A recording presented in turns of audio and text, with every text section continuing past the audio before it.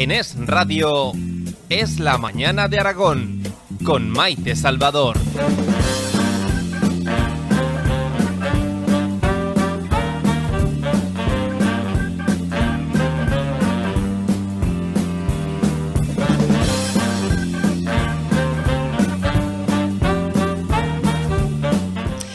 Lo ha dicho Felipe VI. La mayoría han sido personas mayores que lo han dado todo por este país. La mayoría de los fallecidos han sido nuestros abuelos o nuestros padres. ¿Y cuántos? Pues difícil saberlo. También han sido sanitarios, farmacéuticos, policías, guardias civiles, trabajadores de producción. Pero de nuevo la pregunta, ¿cuántos? Hoy se ha celebrado en Madrid un recordatorio a todas las víctimas del COVID. Un recuerdo frío, que pocos guardarán en la memoria por lo poco destacable del mismo. Los que nos han dejado, creemos muchos, merecen un mayor reconocimiento. Lo tienen desde luego en nuestra mente, son nuestros familiares y las instituciones deberían haberse lucido un poquito más. Miren, parece que no quieren que tengamos memoria. Y tal vez exista la necesidad de ver, de haber visto y seguir viendo funerales, UCIs, testimonios de familias y enfermos de COVID para ocuparnos. Ocuparnos de no bajar la guardia, no dejar la mascarilla y salir lo imprescindible. No es un juego, todos lo sabemos, las familias que han tenido a estas personas con ellos y han fallecido de COVID lo saben. Podemos vivir felices, pero con precaución. Los mayores hoy, los sanitarios, todos, necesitaban un reconocimiento más cálido, más amoroso, más del corazón. Han dado su vida. ¿Qué más se puede dar? Es jueves. De no olvidar, es la vida en Aragón. Bienvenidos.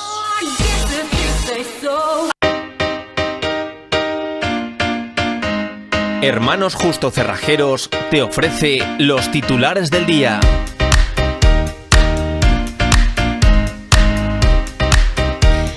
Aragón ha duplicado en solo 24 horas el número de contagios por coronavirus. Sanidad notificaba ayer 166 positivos, con 126 en la provincia de Zaragoza.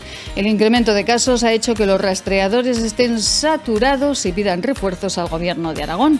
Y por todo esto, Zaragoza redoblará la seguridad este fin de semana para frenar el botellón y evitar nuevos contagios por COVID. La curva de la capital es claramente ascendente y el número de positivos sigue incrementándose de forma notable.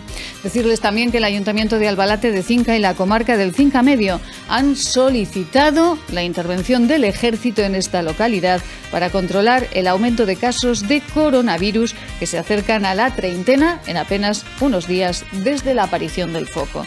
Y decirles que están controlados dos incendios forestales, el María de Huerva y San Mateo de Gallego, y el de Sádava evoluciona favorablemente. En Hermanos Justo Cerrajeros tenemos la llave para solucionar tus problemas de seguridad las 24 horas del día. Abrimos puertas, coches y cajas fuertes. Instalamos sistemas de seguridad contra el robo. ¿Has perdido las llaves de tu coche o necesitas una copia? Tenemos la solución. Para que todo marche sobre ruedas, Hermanos Justo Cerrajeros. La vida en Aragón, con Maite Salvador. Acompáñanos. ¿Quieres jugar conmigo? Primero, tendrás que encontrarme. Estoy en lugares misteriosos, exquisitos, relajantes, llenos de historia. Pueblos con aroma a infancia y tierras inmensas que en calma te abrazan y te llaman a descubrir. Puedo regalarte experiencias únicas y rincones asombrosos que te harán volar a lugares increíbles. Estoy esperándote, muy cerca de ti, lista para disfrutar juntos. Jugamos. Descubre Zaragoza Provincia. Los planes de pensiones son un complemento para tu jubilación y tu jubilación no puede tener una rentabilidad mediocre. Diferentes estudios demuestran que en España muchas veces se han tomado malas opciones en los planes de pensiones y no han tenido unas rentabilidades adecuadas. Esto ha pasado a veces por unas comisiones excesivamente elevadas que no están bien justificadas o por productos mal elegidos. Desde fondos.com te podemos ayudar a tomar una buena decisión que consiga que tu jubilación tenga una rentabilidad adecuada.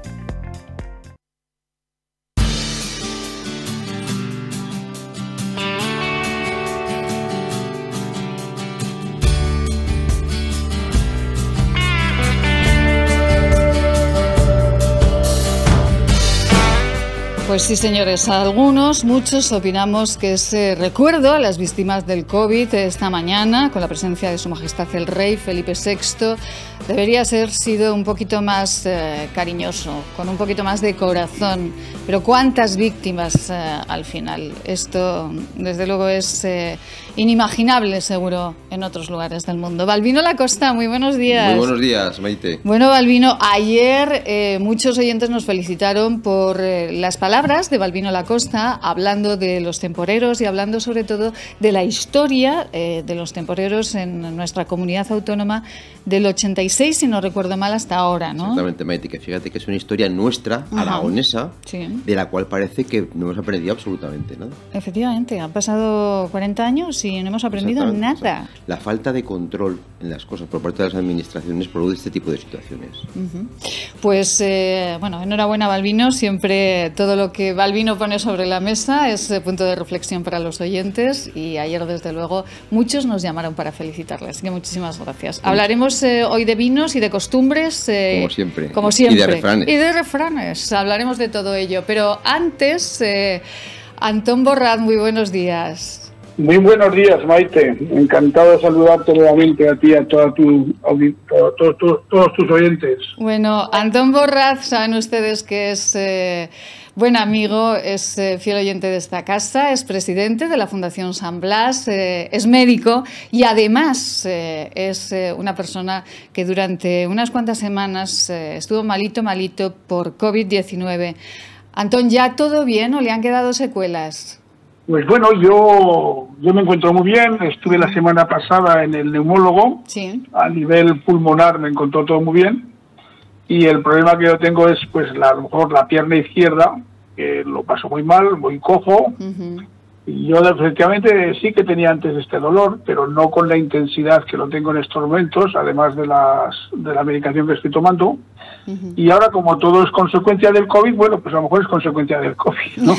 pero ese es, mi mayor problema es la pierna izquierda, la pierna izquierda. Llevo hay momentos en que no puedo, si no me tomase alguna pastillita, no podría ni andar. Pero bueno, por lo demás, muy bien, ¿eh? por lo demás, gracias a Dios, muy bien. Ni me ha afectado la mente, ni nada, ¿no? Por el estilo. No estoy depresivo, siempre optimista, luchando por la vida y ya está, ¿no? Antón, eh, bueno, fueron semanas muy, muy duras. Ahora Antón lo cuenta con normalidad, porque bueno, pues es una enfermedad, se pasa y uno ya se recupera y lo cuenta con normalidad. Fueron días muy duros, ¿verdad? Porque es una enfermedad de mucha soledad son días muy duros y que yo no se lo recomiendo a nadie. ¿eh? Son días, lo pasas fatal, que cuando a ti te dicen que te van a ingresar y tienes al otro lado, en este caso mío en particular, tienes a tu esposa y a través de un cristal le dices así con la manita ¿eh? que adiós y no sabes lo que te va a pasar, ¿entiendes? La verdad es que es muy duro, muy duro, muy duro. ¿eh? Y sobre todo en la habitación solo, sin nadie, todo el mundo con muchísimo miedo y se pasa mal, muy mal. Yo no se lo recomiendo a nadie. Pero también lo que sí que quiero decir, y en esto tengo que hacer referencia a mi hija, una médico que está luchando a tope por concienciar a la gente de que esto no ha pasado y tenemos que tomar todas las medidas que sean necesarias, ¿eh? con la mascarilla, lavado de manos, todo esto, ¿no? Y esto, desgraciadamente, la gente no lo estamos haciendo bien, ¿no? Y luego pues está pasando lo que pasa. El virus no se ha marchado, el virus lo tenemos ahí, ¿eh? Y por lo menos por nuestra parte tenemos que poner todos los medios para que esto no vaya adelante. Pero la pregunta tuya se pasa muy mal y no se lo recomiendo a nadie. Eh, y, bueno, Antón, siendo médico, yo supongo que todavía sufriría, sufriría muchísimo. Sí, bueno, es que, no sabes, no sabes lo que, es que no sabes lo que te va a pasar. Es que esta no es una enfermedad pulmonar, es una enfermedad que afecta a otros órganos, ¿entiendes? En el caso de la sangre, ¿no? Y que ha habido gente que ha ingresado como a lo mejor ingresé yo, ¿entiendes? Y que a los dos días han fallecido. Es muy duro esto, ¿entiendes? Es que tú no sabes lo que te va a pasar, no sabes por dónde va a evolucionar la enfermedad. ¿eh? Y se pasa muy mal y yo todavía tengo el chillido de, de, gente mayor de las habitaciones, enfermero, que me ahogo, que me ahogo. Esto no se va así como así, y es muy duro, es muy duro, y nos, tenemos que, y nos tenemos que concienciar, nos tenemos que concienciar que es muy duro. Hoy me han dicho que han ingresado un amigo mío en el hospital provincial, ha faltado él, la mujer, los hijos, o la hija en este caso. Yo, gracias a Dios, pues, yo, yo es que ahí cuando yo lo cojo me dicen, esto de los abuelos de Alcañiza, pues porque en el asilo de Alcañiza no lo ha cogido nadie, lo están haciendo muy bien las hermanitas y desde aquí les mando un abrazo muy fuerte de lo bien que trabajan y lo que lo están haciendo. Y dice, bueno, pues esto de los desintensos, no, es que de los usuarios nuestros habitantes no ha cogido ninguno. Y yo tuve una reunión con los, con los patronos, dos reuniones antes y no lo ha cogido ninguno. Y lo único que lo cogí yo, ¿dónde? Bueno, no lo sé.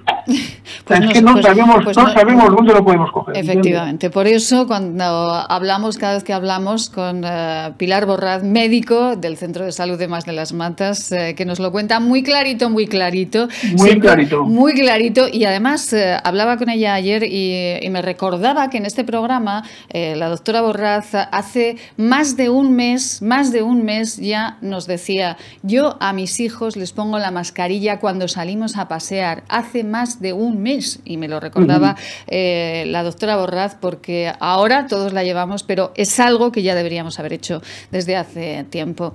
Antón, eh, esta mañana se ha celebrado eh, bueno, pues un recuerdo a las víctimas del COVID-19. Estaba Su Majestad Felipe VI, había representación de todas las instituciones del Estado, de las comunidades, y a muchos nos ha parecido muy frío, muy frío. Usted, como persona que ha sufrido esta enfermedad, eh, no sé si lo ha visto o no, pero, pero ¿cómo, cómo siente que se está haciendo eh, bueno, pues mira, yo, yo lo he visto a medias y eso pues no sé qué quieres que te diga. Me parece me parece pues que ha sido como algo que había que hacer pero sin ningún sentimentalismo, sin ninguna, no sé algo hacer, porque tenemos, que tenemos que hacer esto, bueno, pues lo vamos a hacer. Pero convencimiento de lo que se estaba haciendo, yo creo que había muy pocas personas que estaban convencidos que ese acto merecía la pena, ¿entiendes? Entonces, entonces, eh, bueno, yo casi es preferible en este caso no hablar, pero me ha parecido lamentable y sobre todo lamentable por ciertas personas que han sido causantes de las muertes, de muchas muertes que han ocurrido, sobre todo en personas mayores, ¿entiendes? Yo creo que hay cosas que se podían haber hecho mejor, que se pueden hacer mejor, y esto, bueno, pues por, presión de la gente o por lo que sea, pues lo han hecho y, ya está hecho, ¿no? Pero sin convencimiento ninguno, un acto más sin... Sin corazón, como decía. Sin corazón y sin nada, ¿entiendes? O sea, bueno, vamos a ver esto ya está, ¿no? Yo no quiero tampoco pasarme un poco, ¿no? Pero ya te digo, yo creo que ha sido un acto de cumplimiento. Bueno, pueden hacer esto por cumplir, ¿eh?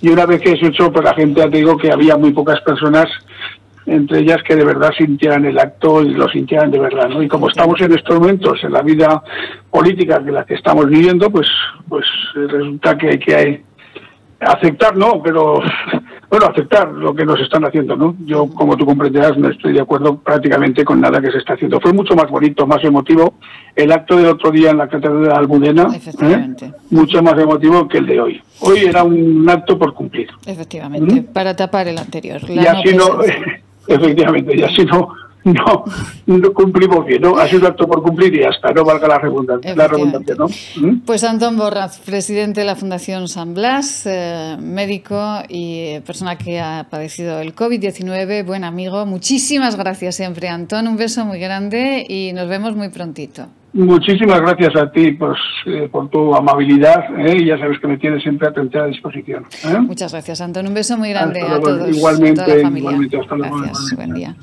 Pues sí, parece un acto por cumplir. Fue muchísimo más emotivo, como dice el doctor Borraz, el de la Almudena, sin presencia de, del presidente del gobierno. Pero bueno, las cosas son así en este momento. Unos consejos. nos vamos a Plaza Imperial con Balbino La Costa y alguna sorpresita más. Thank you.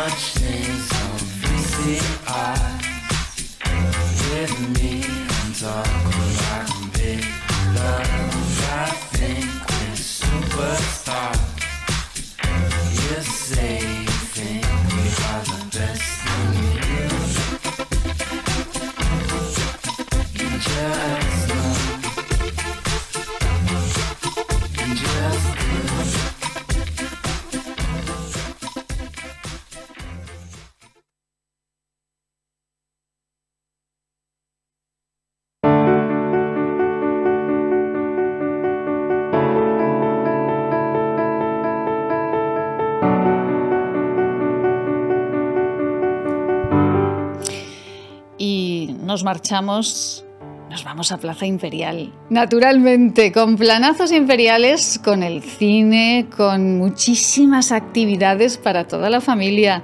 Elena Calvo, muy buenos días. Hola, buenos días, Maite. Bueno, Elena Calvo, gerente adjunta de Plaza Imperial. ¿Cómo está el centro con esta fase 2, con más medidas de seguridad? Bueno, eh, a ver, nosotros no habíamos cambiado las medidas de seguridad. Eh, sí que hemos reforzado un poquito para la limpieza y demás con personal de, limpieza. Y, pero bueno, seguimos con lo mismo: utilización de mascarillas, eh, limpieza súper exhaustiva en, en la zona de servicios, de baños y demás. Así que más o menos igual. Más o menos estamos lo mismo, así que seguros, seguros, seguros eh, en el Centro Comercial Plaza Imperial. Allí podemos disfrutar de un fin de semana, de un día estupendo, estupendo, porque tenemos ocio y tenemos estrenos de cine ya dentro de muy poquito, ¿no? Sí, eh, ya esta semana ha habido estrenos ya para infantiles, para los más peques, y, esperemos que la próxima semana ya se vayan estrenando alguna alguna película también para adultos. Bueno. y ya tiene muchas ganas de ir al cine.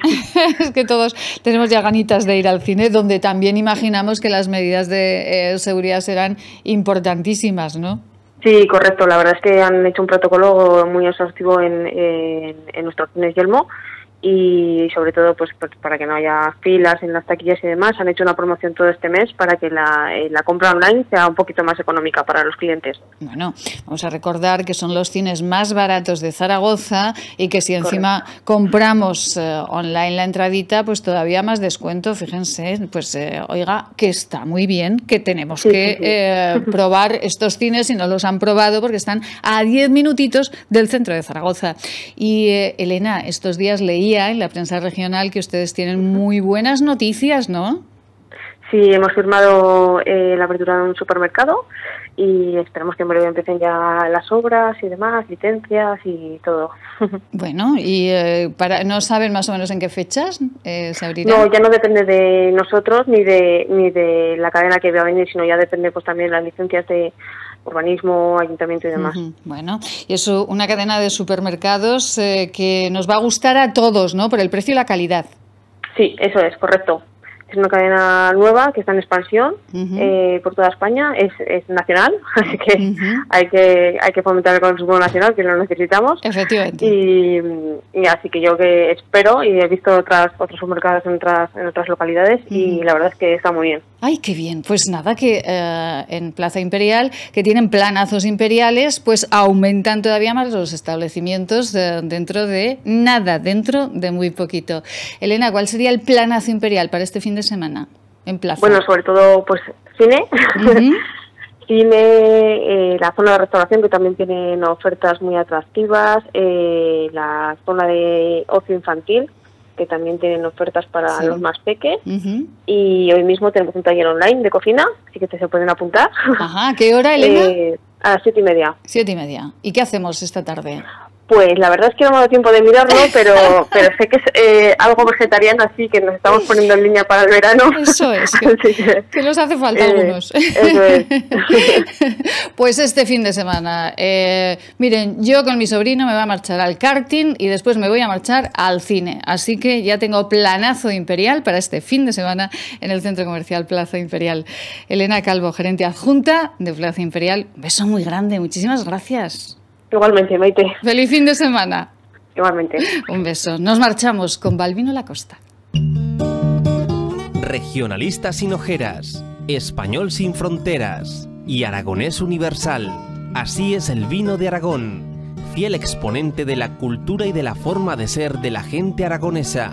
La cultura del vino, con Balvino Lacosta.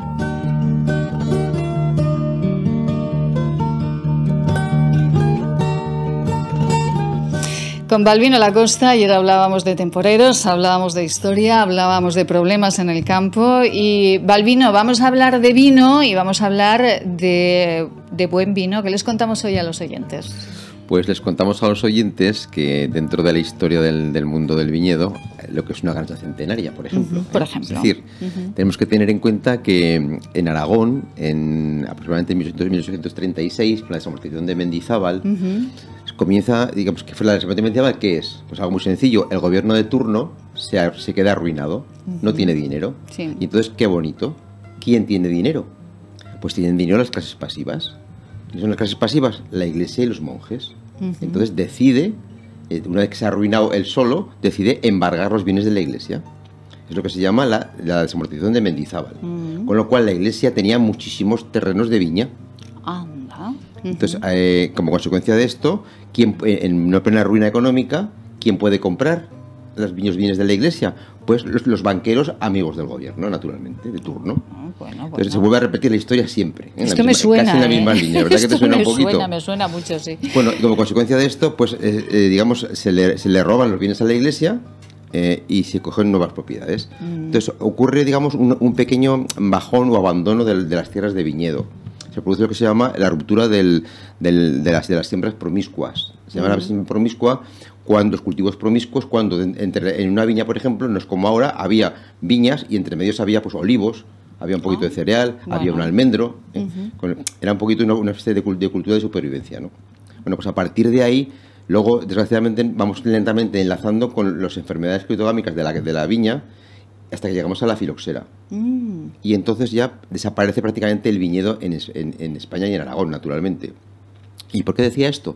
Porque prácticamente la recuperación del viñedo de Aragones comienza entre mil, sobre 1920. O sea, que, o sea, 1820. Se cumplen hoy en día 100 años. ¡Ay, qué curioso! Prácticamente 100, años. Oye, aproximadamente cuando sí, se sí, en el campo, ¿no? Entonces, hoy en día ya podemos hablar efectivamente de que hoy pueden existir eh, eh, garnachas y viñedos de 100 años. Pero ¿cuánto tiempo se lleva hablando de garnachas centenarias, Balvino? A, veces es verdad y otras veces... Maide, el concepto de garnacha centenaria es un concepto de tercera generación. Ya. No os lo olvido. Es decir, planta la viña el abuelo y la recoge el nieto. Entonces son 30, 60 y 90 años. ¿no? Entonces, cuando una viña tiene ya más de 60 años, que ya está en, la tercera generación en teoría, se empieza a hablar de, de centenaria.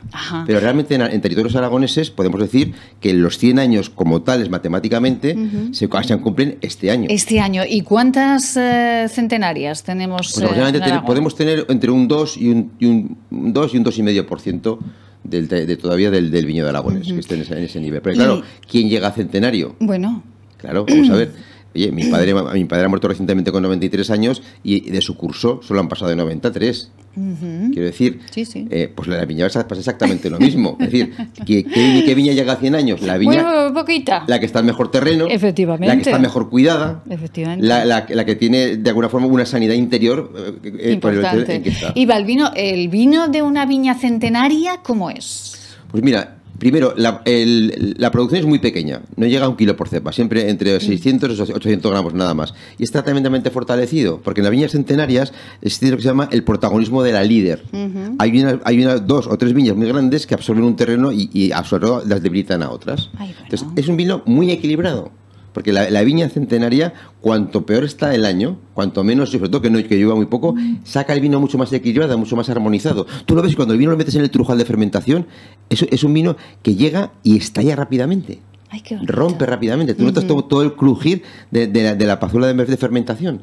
Entonces ya, ya, notas que hay una suelta de aromas impresionante y diferencial. ¡Ay, qué hermoso! Amelia Ríos, muy buenos días. Buenos días, Maite, hija. Ay, Amelia, pero qué gusto de escuchar a Balvino, ¿verdad? Pues sí, verdaderamente. Oye, y a mí con eso que contaba del año 68 de los vendimiadores que no vinieron porque les daban el sueldo gratis sin trabajar en Andalucía, pues es lo mismo que ahora con este sueldo vital que, que pone el gobierno a las personas que no tienen trabajo. Mm. Demonio, pues todos esos que están en el paro, a coger la uva, a la vendimia, a las frutas, en el campo. Oye, cuando, cuando no se tiene el trabajo que a uno le gusta, pues hay que hacer el que sale y, y ganar el sustento de la familia trabajando, no que te lo den así por las buenas. O pues así, ¿quién va a trabajar? Oye, Ay, me imagino que la mitad dirán, bueno, si me sale alguna chapuza por ahí Ya. y lo que me dan, pues ya está. Tiene usted, tiene usted más razón que un santo, de verdad, que no se me pase el tiempo. Mamá, muchísimas felicidades, que los que llamaban a casa éramos nosotros para felicitarte. Felicidades, Carmen. Sean felices.